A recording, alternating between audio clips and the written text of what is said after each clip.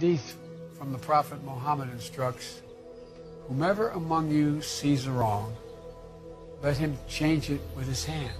If he is not able, then with his tongue. If he is not able, then with his heart.